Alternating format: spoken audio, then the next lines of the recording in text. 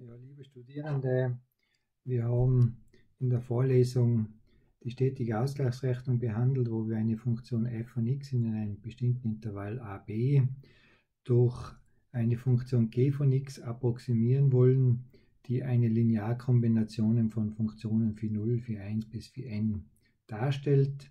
Und wir suchen die Koeffizienten a0, a1 bis an derart, dass äh, der quadratische Fehler minimal wird. Und der quadratische Fehler ist in diesem Fall eben das Integral über das Intervall. Und äh, quadratisch deshalb, weil wir die Funktionswerte Differenz quadrieren und aufintegrieren. Wir wollen jetzt dieses Beispiel, was wir äh, in der Vorlesung besprochen haben, mit MATLAB implementieren und starten einmal die Software. Also stetige Ausgleichsrechnung.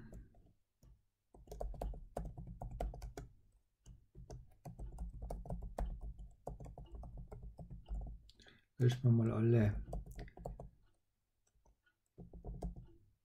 Parameter. Was haben wir jetzt an symbolischen Funktionen? Einmal f von x, dann den quadratischen Fehler.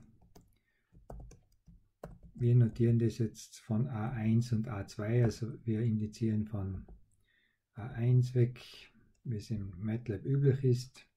Und wir haben einen Funktionsvektor phi von x.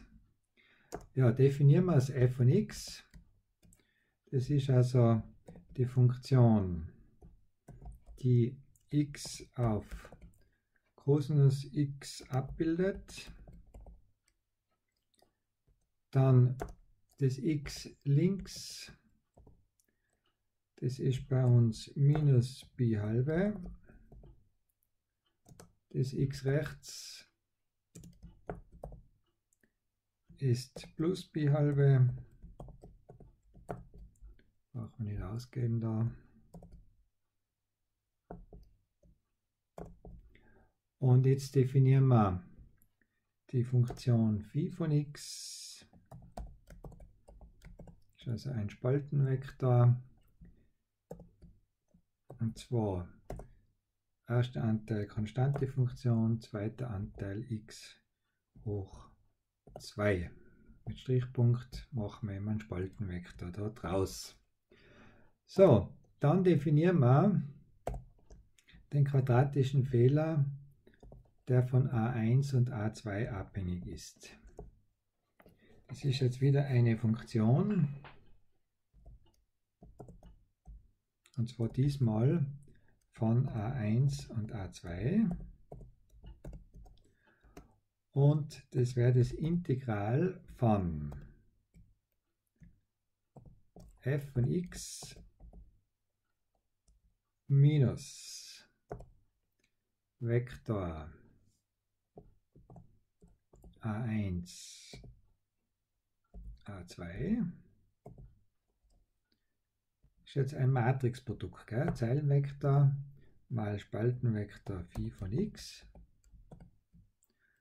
und das Ganze in Klammer hoch 2 integriert wird über x und die Grenzen sind von x links bis x rechts. So, jetzt können wir das schon einmal laufen lassen, dann sehen wir nämlich, was der quadratische Fehler ist. Das ist einfach eine Funktion von a1 und a2, die minimiert werden muss. Schauen wir mal, was er uns da ausspuckt.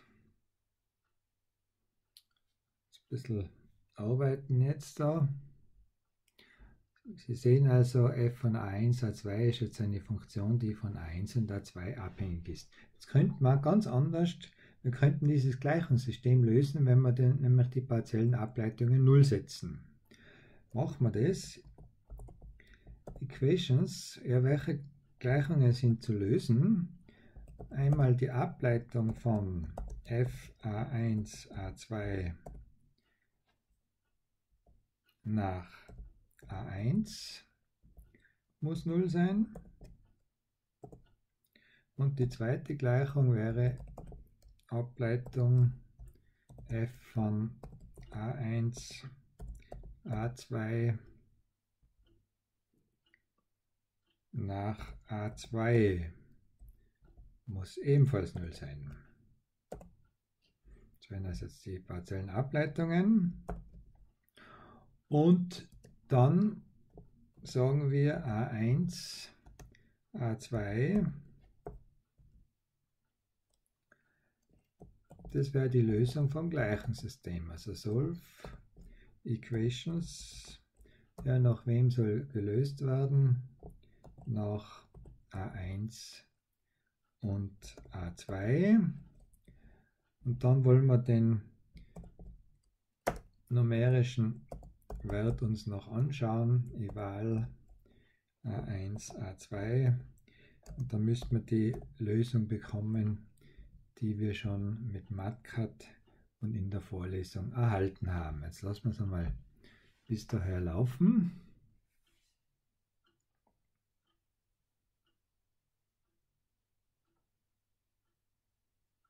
Also da haben wir fürs 1 0,98 oder sowas erhalten und das zweite minus 0,4177. Passt.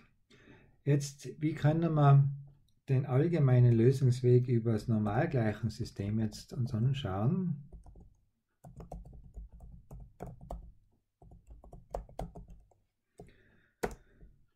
Da tauchen ja im Prinzip jetzt folgende Integrale auf, also die wir beim zu Fuß rechnen lösen müssen. Also wenn wir Phi mit Phi von x transponiert über x integrieren, die Integrale tauchen auf und die Integrale von f von x mit Phi von x. Das sind also die Integrale, die wir sozusagen händisch lösen müssen, wenn wir es zu Fuß rechnen. Und jetzt wollen wir noch die Koeffizientenmatrix ausrechnen. Also a ist gleich. Und dazu integrieren wir jetzt von x links bis x rechts.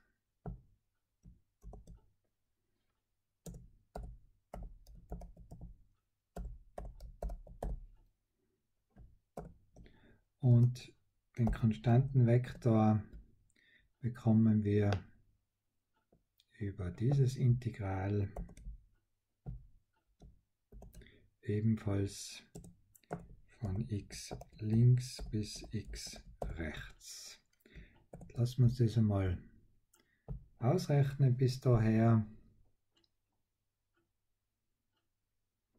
Und dann wollen wir diesen Vektor a bestimmen, müssen wir natürlich das gleiche rausbekommen, wie wir vorhin über die Lösung des Gleichungssystems erhalten haben. Also das wären jetzt quasi die Integrale, die da auftauchen, die wir lösen müssen. Das haben wir in der Vorlesung schon händisch gemacht. Das wäre die Matrix A, das wäre der Konstantenvektor B und den Koeffizienten, die unbekannten Koeffizienten bekommen wir jetzt über die Quermatrix mal b.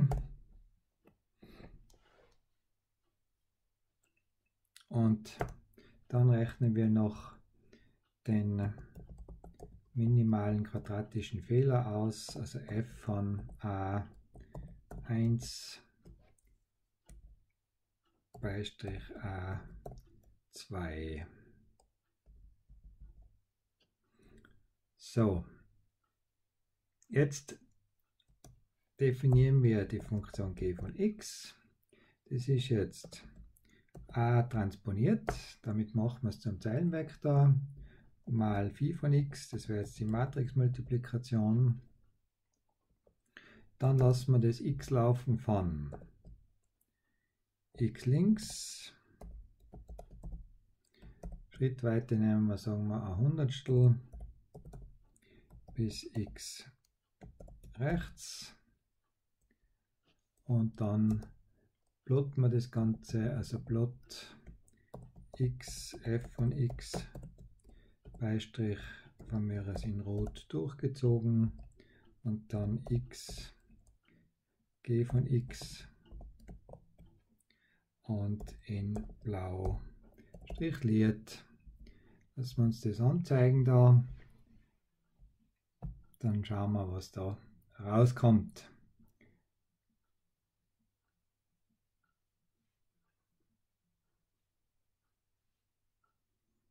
Also da müssten wir jetzt quasi diese Grafik bekommen, die wir in der Vorlesung schon gezeichnet haben.